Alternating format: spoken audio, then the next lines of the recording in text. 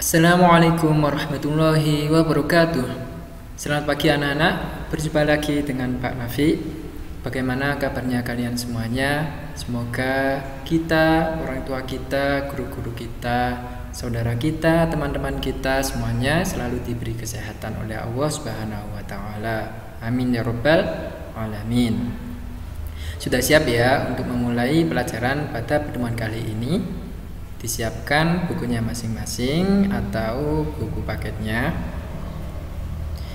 Hari ini kita akan belajar mata pelajaran Al-Quran Hadis yaitu materi tentang surat Al-Ma'un.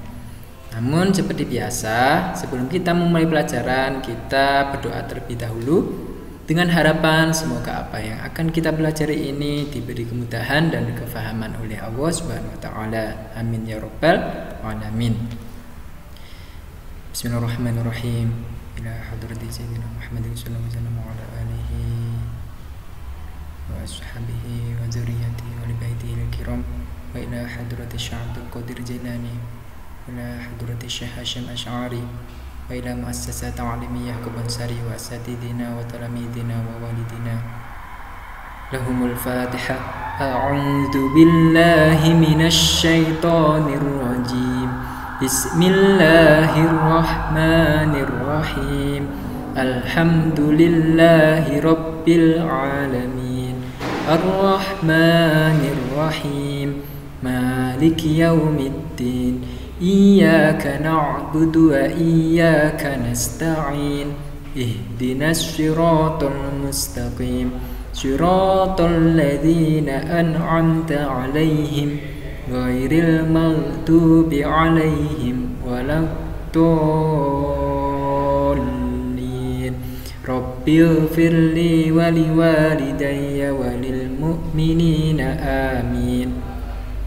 بسم الله الرحمن الرحيم رضيت بالله ربا وبالإسلام دينا وبمحمد نبيا ورسولا ربي زدني علما وارزقني فهما آمين آمين آمين يا رب العالمين.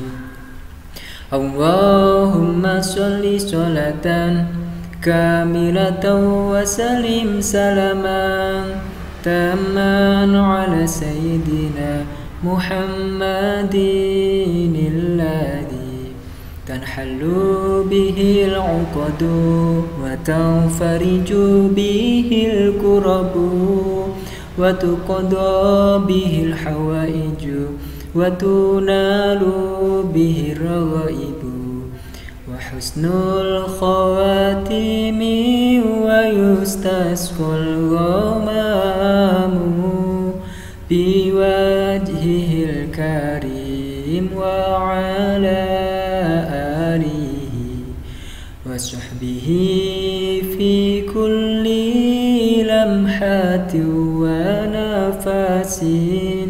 ونفس بعدد كل معلوم لك. اللهم صل صلاة كاملة وسلم سلاما تاما على سيدنا محمد الذي تنحل به العقد وتنفرج به الكرب وتقضى به الحوائج وتنال به الرغائب وحسن الخواتم ويستسقى الغمام بوجهه الكريم وعلى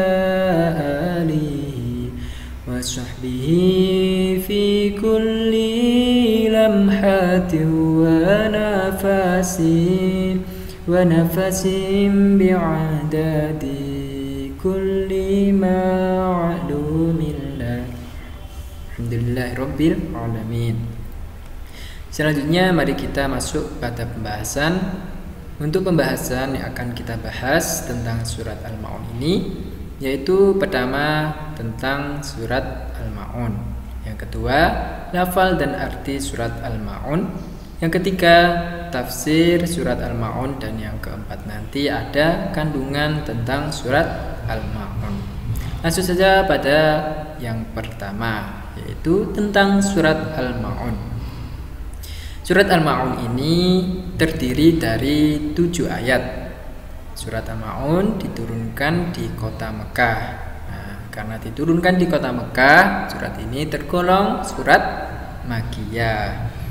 Kalau diturunkan di kota Madinah, berarti dinamakan apa anak-anak? Nah, dinamakan surat Madaniyah. Nah, inter. Kemudian nama surat Al-Maun ini diambil dari ayat terakhir yang berarti barang berguna. Wa yamna'unal ma'un ayat ketujuh dari surat Al-Maun ini. Kemudian surat ini merupakan surat yang ke 107 dalam Al-Qur'an. Diturunkannya setelah surat Al-Quraisy. Nah, secara ini tentang surat Al-Maun. Kemudian isi pokok pembahasan dari surat Al-Maun ini menjelaskan ancaman terhadap mereka yang menodai agama atau mendustakan agama yaitu orang yang menindas yatim atau menghati anak yatim kemudian tidak menolong orang yang meminta-minta kemudian riak dalam sholatnya serta enggan menolong dengan barang yang berguna jadi ini eh, pokok isi pembahasan dalam surat Al-Maun. Secara rinci nanti kita masuk pada lafal dan terjemahannya. Namun sebelum itu kita eh, bahas sebentar atau sekilas tentang asbabun nuzul atau sejarah diturunkannya surat Al-Maun. Nah, jadi surat Al-Mu'un ini diturunkan bermula dari kisah yang diriwayatkan oleh Ibnu Munzir yang mana pada waktu itu orang-orang munafik gemar memperlihatkan ibadah mereka di hadapan orang lain. Bahkan mereka melakukan itu supaya dianggap sebagai muslim yang taat padahal sejatinya mereka hanya bertindak palsu. Jadi mereka itu hanya berbuat riak eh, gemar memperlihatkan ibadahnya itu di hadapan orang lain agar mereka itu dapat pujian atau dianggap sebagai muslim yang taat. Nah, jadi bukan karena Allah Subhanahu. Kemudian selain itu orang-orang munafik juga enggan mengulurkan bantuan kepada orang miskin dan anak yatim. Nah, ini e, secara singkat asbabun nuzul dari surat Al-Maun. Kemudian kita masuk pada lafal surat Al-Maun. Mari kita baca bersama-sama. A'udzu billahi minasy syaithanir rajim.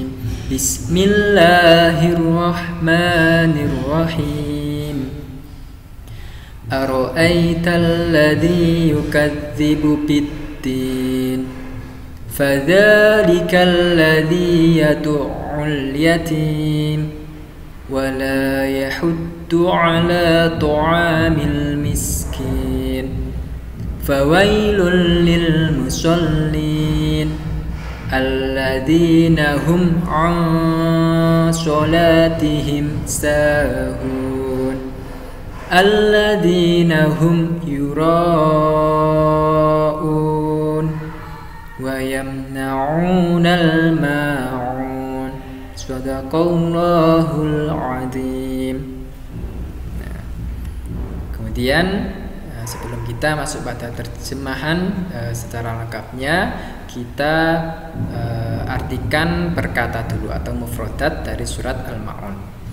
Aro'aita yang artinya tahukah kamu alladzi orang yang yukadzibu mendustakan bidin agama Fadalika maka itulah yadu'u menghardik al yatim anak yatim wala dan tidak yahudu mendorong ala atas al miskin orang-orang miskin. Fawailun maka celakalah lil musallin bagi orang-orang yang sholat. Hum mereka an dari sholatihim sholat mereka. Sahun mereka itu lalai. Yuraun mereka riak. Yamnauna mereka enggan al maun memberi barang-barang yang berguna jadi ini uh, arti kata atau mufradat dari surat al maun Nah, kemudian terjemahan secara keseluruhan. Nah, ini Aro'aital ladzi yukadzibu biddin. Tahukah kamu orang yang mendustakan agama? Jadi ini sebuah pertanyaan. Fadzalikal ladzi yatu'ul yatim. Itulah orang yang mengerti anak yatim. Kemudian ayat berikutnya itu menjawab wala yahuddu ala tu'amil miskin dan tidak menganjurkan memberi makan orang miskin. Fawailul lil musallin maka celakalah bagi orang-orang yang sholat.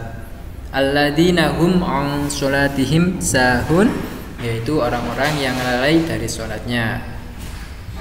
E, lalai dari sholatnya. Kenapa? Alladzina hum yuraun yaitu orang-orang yang berbuat riya wa yamna'unal ma'un dan enggan menolong dengan barang yang berguna. Nah, sebagian musafirin mengartikan enggan membayar zakat.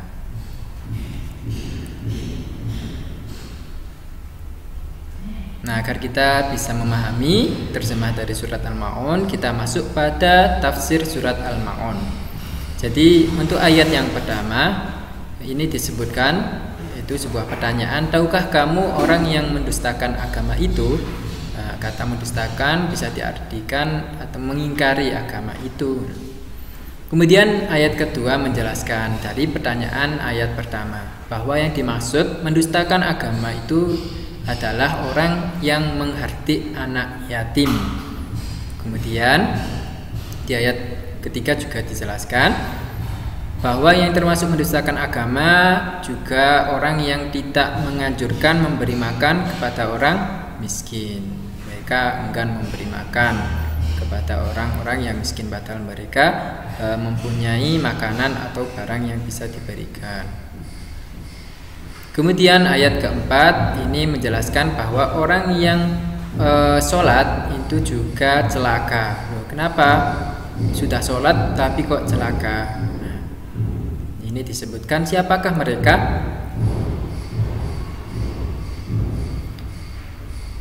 Yaitu orang-orang yang lalai dalam sholatnya. Menunda-nunda sholat termasuk lalai dalam sholatnya. Nah ya, ya sholat tapi celaka yaitu ketika orang sholat itu mengakhirkan waktu sehingga di luar waktu sholat. Menu karena menunda-nunda oh nanti aja wis nanti aja dengan sengaja padahal e, tidak sedang apa-apa. Nah, seperti itu juga di sini dijelaskan e, mereka itu termasuk orang-orang yang celaka. Atau disebutkan juga e, ayat ke-6 ini, kemudian mereka berbuat ria. Nah, ia adalah berbuat sesuatu agar mendapat pujian, bukan karena Allah, melainkan hanya untuk mendapat pujian dari orang lain. Nah, Eh, selain itu mungkin mereka beribadah atau sholat itu bukan karena Allah tetapi karena e, ingin dipuji atau e, dianggap sebagai orang yang taat. Nah seperti itu e, termasuk orang yang celaka. Kemudian ayat yang terakhir ayat ketujuh ini dan mereka yang enggan memberikan bantuan kepada yang membutuhkan berarti tidak peduli dengan sesama. Tadi juga disebutkan uh, uh, ada musafir yang mengatakan orang tersebut itu tidak mau membayar zakat. Nah, kemudian sementara kita diberitakan untuk berbuat kebaikan kepada sesama. Nah, jadi seperti ini untuk uh, tafsir daripada surat Al-Maun agar kita bisa mudah memahami dari ayat pertama sampai ketujuh tadi. Adapun kandungan dalam surat Al-Maun ini yaitu menjelaskan kepada kita tentang e, bagaimana ciri-ciri orang yang mendustakan agama. Tadi disebutkan yang pertama itu suka menghardi anak yatim.